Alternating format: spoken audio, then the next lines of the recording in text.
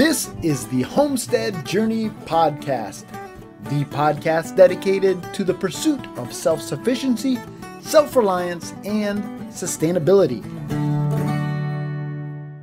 This is episode number 20 of the Homestead Journey Podcast, or as we like to say around here, step number 20 on our journey towards self sufficiency, self reliance, and sustainability. My name is Brian Wells. I am coming to you from 3B Farm and Homestead here in beautiful upstate New York. If you are new to the podcast, welcome. Thank you so much for joining us on the journey. And if you've been listening for a while, thank you as well for taking time out of your busy schedule.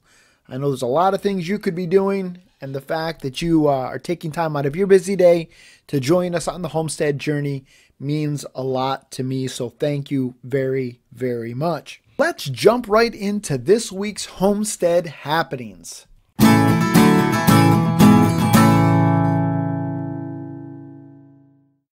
This week on the homestead, I have spent a lot of time working on our mobile chicken coop. Now, I told you a little bit about it last week, and uh, this week the work has continued, and really I've gotten a lot done on it. Very, very happy with how it's been turning out. Um, I actually did something new this week.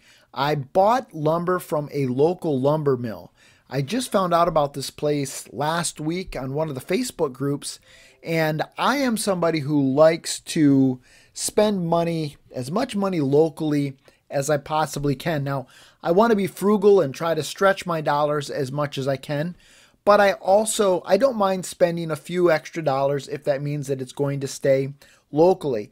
Now, in this case, buying rough cut lumber, I I think I may have saved a little bit, not a whole lot, but I really have enjoyed working with the rough cut lumber. It's the first time I've ever done it and uh, definitely will not be the last. So I did all of the framing with the rough cut.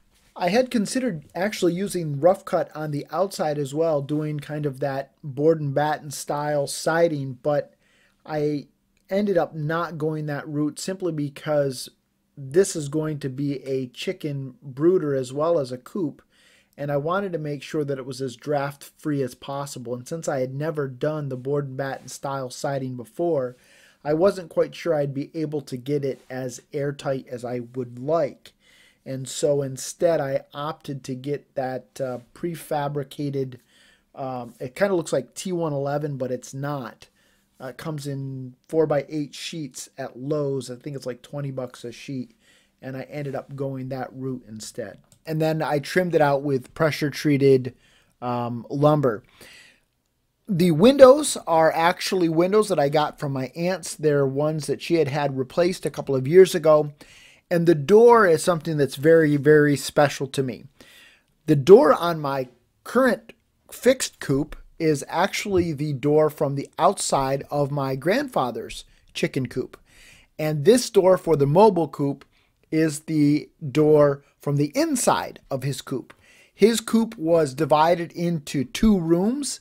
And uh, so I took the door from the, the divided the two rooms, and I'm using that on the mobile coop. And folks, I'll be the first one to admit I'm a bit of a sentimental old fool, uh, and there's nothing wrong with that at all. Uh, but I just love the fact that a part of my grandfather's legacy is living on in this coop as it has in our our other coop, and uh, just like in our other coop, every time I open that door, I'll think of my grandfather. There'll be a smile on my face, perhaps a tear in my eye because I miss him something fierce. Um, but the fact that a, a piece of my grandfather's legacy makes up this coop is something that makes me very, very happy. Now, I have been sharing pictures of the uh, coop build on our Instagram page. If you don't follow us on Instagram or you haven't liked our Facebook page, go ahead and do that. But I have been using the hashtag 3BMobileCoop2020 on Instagram, so if you use that hashtag, you'll be able to see all of the pictures of our coop um, there. Also, this week, uh, the I don't know if you can hear it here. It's in my hot little hand. The 1020 trays that I ordered from Bootstrap Farmer without the holes arrived and folks, I am very, very impressed with this construction. So Very happy with it. I think these are going to, to work well for me. These are definitely in a totally different class than the El Cheapos that you find at Walmart or Home Depot or whatever. Um, these are definitely much more, they're just sturdier. And so hopefully these will last me a long time. Initial impressions, very, very impressed. And I will let you know how things go um, using them this year and hopefully many seasons beyond this year. Now, this week in the news, uh, unless you have had your head in the sand, the big news this week has been the coronavirus. Um, and it's just nonstop 24 7 coronavirus, coronavirus, coronavirus. Now, folks, I am not a medical professional. I am not trying to downplay this. Um, I'm not trying to overhype it. But let me tell you what we have done this week on our homestead to prepare for the coronavirus. Absolutely nothing. Now, I don't say that lightly, but the reason why we've done absolutely nothing to prepare for the coronavirus is because that's what we do. As homesteaders, we're always preparing. I didn't need to go down to the grocery store and stock up on a bunch of stuff because last year I started preparing. I uh, put seeds in the ground and grew my vegetables and then and then harvested them and, and preserved them. Um, we got meat birds. We harvested a pig. So if we were quarantined for an extended period of time, we'd be able to eat good for an extended period of time. And folks, I don't say that again to be cheeky or to be flippant about it. But again, as homesteaders, that's one of the benefits of homesteading is that when these kinds of things roll around, we don't need to panic. We don't need to lose our minds because we are on that journey towards self reliance, self sufficiency, and sustainability. And so we have those, you know, that food stored up. We have you know the animals that are that could provide us with food whether it's eggs or or meat or whatever we've got those systems in place. Now is it perfect? No. Um, there's things that we could do on our homestead to get better at this. There's things that we could do uh, especially with regards to natural disasters. I'd like to get a pto generator uh, that i could connect to my tractor. Um, there, there are things that we could do better uh, but we didn't need to run out to Sam's Club uh, or to Costco um, and buy toilet paper. Although I don't get why people think they've got to stock up on toilet paper. Oh my goodness, it just cracks me up. Um, but uh, you know, paper towels and hand sanitizer. My wife said she just got back from Hannaford and soap was almost gone. Well, at least people are washing their hands. I guess that's the upside to it. You should be washing your hands all the time, anyhow. Anyhow, but what did we do to prepare for the coronavirus this week? Not a whole lot. And again, that's not me trying to be flippant or to say that this is no big deal. I don't know whether it's not a big whether it's a big deal or whether it isn't. Whether it's media hype or whether this is actually um, some kind of catastrophic event that's taking place. All I know is that because we are homesteaders, we're well situated to handle something like this. The last thing I want to share with you is something that took place here on our homestead yesterday, and this was a near catastrophe. My wife and I and our son were skiing yesterday at the local ski area. Um, probably going to be our last hurrah just because of how things are going to fall over the next couple of weeks with some things we've got going on. But anyhow, so we were there skiing when I got a text from some friends of ours. They had stopped by to drop some stuff off uh, here at the house, and they texted me and said, You've got a pig loose. This is the first time one of our pigs have ever escaped outside of our perimeter fence. Now, I've had them break from paddock to paddock, and we've had some pregnancies, unplanned pregnancies that resulted, but I've never had a pig break outside of the perimeter fence. But here I I'm at the ski area. I'm on the lift, actually, literally going up the hill, and I get this text, You've got a pig out. I said, Don't worry about it. Uh, we'll come home. So we got off the uh, mountain, jumped in the car. We came home and discovered the sow rooting through some bags of garbage. Um, now, we have uh, a local company that comes and picks up our garbage every week, and the cans were still at the end of the road because I hadn't taken the time to bring them back. And so my wife had done some clean out and I had just taken those bags and put them under the carport and anticipating that I was going to bring the cans back. And this is what the pig had gotten into. Thankfully, they had called us because in that bag was a box containing old rat poison. She did not get into that box, thank God. But they literally saved my bacon. Um, and, uh, you know, I, I am whew, I just think of how that could have gone if uh, she had been able to continue munching through and gotten into that rat poison. That's definitely not anything that I would want uh, to see with my pigs. But thankfully, they contacted us. We got home, and she went right back into the pen so easily. I had some um, some spent barley uh, that I get from a local uh, brewery, and uh, she literally was chasing me down the hill like I was running, and she was just booking right after me and went right back into her pen where she's supposed to be. But that could have not ended well. Thank God that it did. Well, speaking of pigs, let's jump on over to this week's Charting the Course.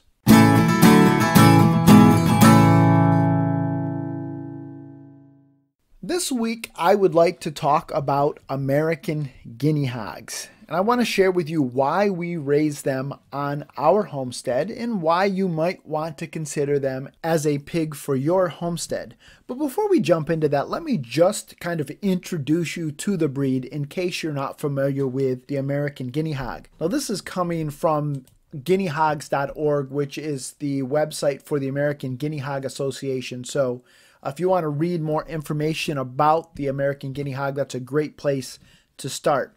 Um, the American guinea hog, though, it's a sustainable heritage farm pig known for its moderate size, excellent forage abilities, friendly temperament, excellently flavored meat, and indispensable lard. It's smaller than industrial hog breeds, but it's a good sized farm pig, providing a nice well marbled carcass. There is a lot of variability because it is a landrace breed from the standpoint of how tall they get, how long they get, and how big they actually grow to become. Um, but generally speaking, they can range anywhere from about 150 to 300 pounds, and they reach butchering weight at about 18 months. Now, that is a really quick, uh, simple summary of all of the information that's found on guineahogs.org. I would highly recommend that you visit that site to find out more about the American guinea hogs. I will definitely provide a link to that in the show notes. Uh, but the American guinea hog is a great pig. We absolutely love it. However, sometimes I've heard people refer to it as the perfect homestead hog. And folks, if you've been listening to this podcast any length of time, you will know that I don't go there each homestead is so unique. Each homestead has its own set of goals, its own set of challenges.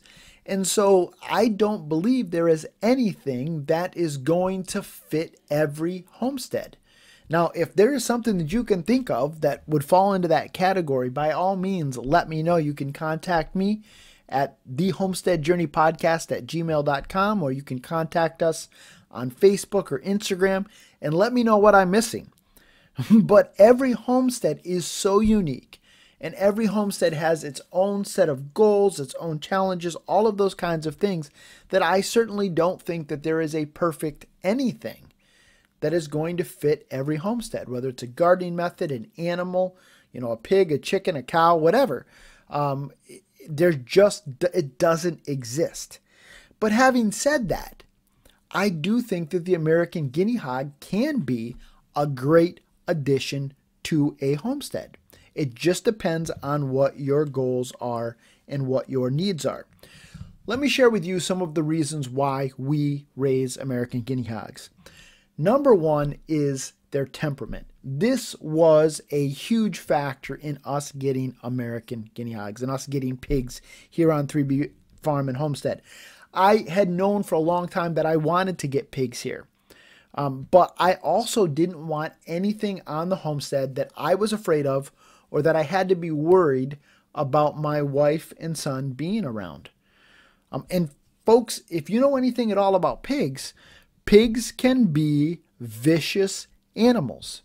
Yeah, they're not maybe as big as uh, certain breeds of cow, but a 700 pound mad boar or crazed sow is not something that you're necessarily going to easily be able to handle. And that is something that I did not want on our homestead. I didn't want to have to be worried about it because I had a very aggressive animal or a mean sow or a mean boar um, that I was worried. I didn't want that. And so for us, the temperament of the American guinea hog was a huge factor. Now, that doesn't mean that you can't get a mean American guinea hog or that you, uh, you, you know, you've got to treat these animals with respect. But people who have been breeding American guinea hogs for years have focused on breeding the sweet ones and eating the mean ones. And that has led to a breed that overall, generally speaking, is very, very chill. They're like a big, huge puppy dog that wants belly rubs. Now, you got to be careful because sometimes they'll drop down at your feet at the most inopportune times. And, you know, your boars, especially, they can grow the tusks that kind of come out. You want to be careful they're not brushing up against you um, and, you know, pushing around because, again, these are large animals. But by and large, they have sweet, sweet personalities, and that was a big factor for us. Now, the second reason that I like the American Guinea Hog is its size. It's not a huge pig. I didn't want a 400, a 500, a, you know, a 700 pound animal again that I was having to worry about keeping contained and having to somehow control this animal. They're a moderately sized pig, you know, 150 to 300 pounds. Mine, generally speaking, uh, don't they're a little bit more in the middle of of that range. Um, so I really really like that. It's perfect for a family of three. You know, if I was feeding more than that, I'd just dress off two. But their size, from the standpoint of manageability, and again, we only have a little over two acres of land here, so it's not like I could have 3,700 pound pigs running around this property. I don't have room for that. My neighbors wouldn't be very happy with me if I had that many pigs here. But uh, with the smaller American Guinea size, a hog size, it definitely has worked well for us. The third reason why I was drawn to the American Guinea Hog was the fact that they have a little bit more marbled meat. So this is not your other white meat. It's not the lean, tasteless stuff that you get at the store. Now, if you like that lean, tasteless stuff that you get at the store, the American guinea hog is probably not for you. But if you like fat and you like flavor, because fat is flavor, the American guinea hog is going to be right down your alley. But not only is it nicely marbled meat, it also produces uh, a, quite a bit of lard. And, you know, it, it kind of you know, trends come and go, but it seems like lard is kind of coming back into vogue. Uh, and people are starting to recognize that there are a lot of health benefits from consuming now good lard, okay? Lard that has been it comes from pigs that have been fed properly and not just been fed garbage and crap. I certainly don't think that you're going to find the same health benefits buying lard at the store that you would in lard that comes from a pasture raised pig. But that was another draw for me because cooking with lard, I think it makes things taste better. Baking with lard certainly makes things taste better. In fact, last year at the uh, county fair, my son made a blueberry pie and entered it into um, the pie contest there. And uh, the judge was just blown away by the crust and wanted to know what his secret ingredient was. And he said, Well, I use lard from our American guinea hogs. And uh, she just kept eating it and eating it. And generally, they take a couple of bites and and uh, that's it. He brought in a four inch pie, and when it was all said and done, I had to struggle to find the sliver of pie that uh, was left because she ate so much of it. And uh, then he was selected to uh, bake a pie and send it to the New York State Fair. But what was it? The secret ingredient was lard from our American guinea hogs. Another reason why I was drawn to the American guinea hog is that they have good mothering instincts. Generally speaking, they farrow easily and they take good care of their little ones. And if they don't, then you just don't breed them again. I don't want to pass on those traits to the next generation. And so, part of all of this, the benefits of this breed, is because there have been breeders throughout the years who have bred for particular characteristics. And as breeders now, we have a responsibility to carry on those kinds of things and ensure that we are breeding only sows that are good mothers to pass on those good instincts. But generally speaking, the American Guinea Hog is known for easy farrowings and good mothering instincts. Another reason why I like the American Guinea Hog is they are very feed efficient.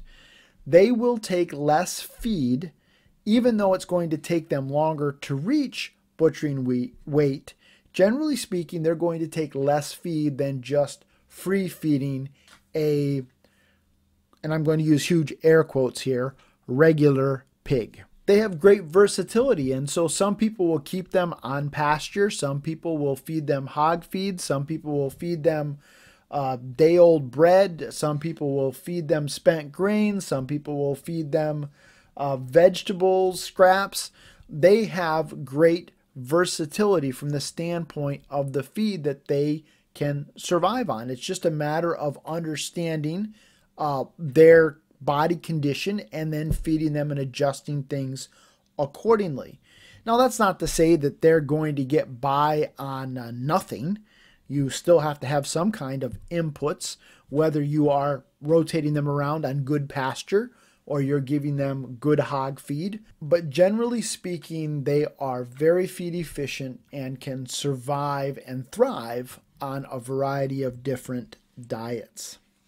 Now, what are some of the downsides to raising American guinea hogs? Well, first of all, and this is probably the biggest one, and that is that they are slow growing.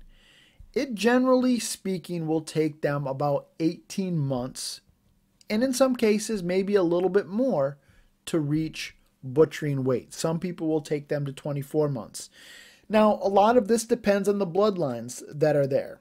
Um, and so some people have a little quicker growing American guinea hogs, and some people have a little smaller growing American guinea hogs, and some people have American guinea hogs that have a larger carcass and some a smaller carcass. So some of it has to do with the bloodlines, but by and large, they are a slower growing pig.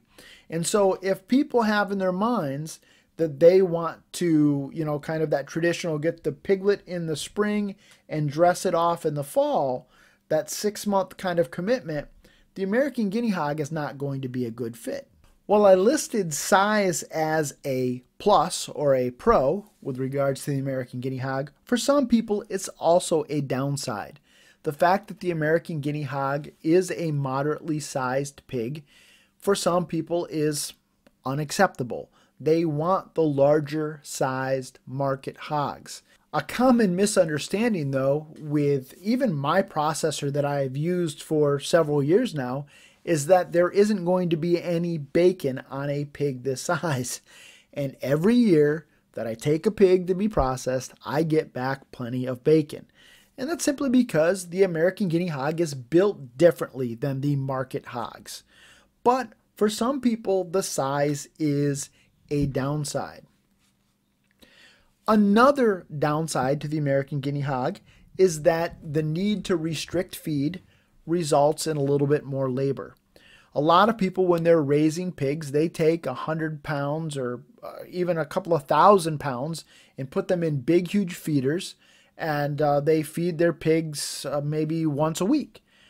With the American guinea hog, you pretty much have to feed them every day and we choose to feed them twice a day. A lot of it is going to depend on how you choose to manage your herd, but restricting the, the feed does result in more labor to produce the pork. Now, for me, I also see that as a benefit because I'm out there interacting with my pigs. In fact, Troy over at Red Tool House uh, was doing an experiment in the last couple of weeks with regards to fermenting uh, feed for his hogs. Now he's raising, I can't remember, it's not American guinea hogs. I can't remember what breed it is or what mix he's raising. But he used to just put the feed in the big uh, hoppers and, you know, load it up every once a week or something like that. But now he's fermenting the pig, the feed for his pigs, and so he's interacting with his pigs on a daily basis. And what he's finding is that his pigs are less wild acting because he's interacting with them on a daily basis. So certainly uh, that additional labor, I think, does have upsides to it, but restricting feed does mean more labor. That's just a fact. The final downside that we're going to talk about uh, with regards to the American guinea hog is that raising this breed does require a level of effort uh, with regards to educating people from customers to your processor. You're constantly having to educate people about the American guinea hog. It's a breed that is not very common. It's a breed that, although it is more common than it used to be, but uh, you're constantly having to explain to people what it is. That this meat is not going to be the um, standard white meat that you find at the store. When they go to process it, it may need to be processed a little bit differently. That there is actually going to be bacon that is attainable. Um, and so you do find yourself having to put in a lot more effort with regards to teaching people about the American guinea hog rather than just simply selling pork or selling pigs a couple of weeks ago, I was at a homesteading event and I was talking to some people there, and they're people who have been following the pattern of buying piglets in the spring and harvesting those pigs in the fall. And uh, they found out that I was a breeder of pigs, and so they were hey, let me have your contact information. And I said to them, I said, no, you don't want my contact information because the breed of pig that I have requires a commitment that's far beyond the six months that you are wanting to put in. And folks, that's not a, a, a dig at them.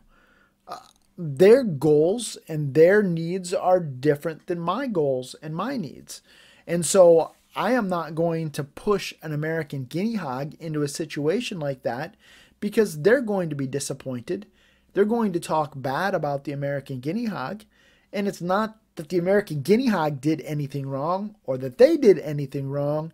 It would be that I did something wrong because I didn't educate them on the nuances and the differences with regards to the American guinea hog. Folks, I absolutely love my American guinea hogs. I absolutely do. I feel like their pros definitely outweigh the cons. I don't mind the fact that they're slower growing. I don't mind the size. In fact, the size for us is a perfect size. Um, the labor, additional labor, for me, it's not that big of a deal. I enjoy going out and interacting with my pigs on a daily basis, even in the wintertime. Now, I don't enjoy hauling water in the winter. I had a plan this year to deal with the water a little bit differently, and I didn't fully get that launched. I'm going to try a little bit different approach to watering them next year. I don't even mind going out and interacting with them in the wintertime. I really don't. I I love my pigs. I really do. And I love their temperament. I love, you know, they'll they'll come over and flop over and want those belly rubs. Uh, I enjoy um, just watching them and uh, listening to them grunt and kind of, you know, I, I just, I love them. I absolutely love these pigs. I enjoy eating them. They are tasty, tasty, tasty pigs. Their hams might not be as big as other breeds, but boy, are they good. The bacon is amazing. The sausage from the American guinea hog is amazing. My wife grabbed a butt roast out of the freezer the other day and made some pulled pork that was to die for. The American guinea hog is a tasty, tasty pig. And the lard, it, I just absolutely love cooking with it. We love baking with it. Um, I absolutely love the American guinea hog. If you are interested in the American guinea hog, I would definitely recommend that you check out guineahogs.org. Contact me. I am always happy to talk pigs. Uh, I have contacts throughout pigdom.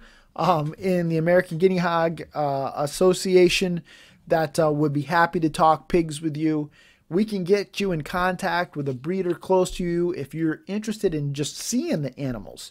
Um, we have people that would be more than happy to show you the American Guinea Hogs so that you can get a feel for this breed and maybe, just maybe, you'll fall in love with it like I did and it will be the perfect homestead hog for you.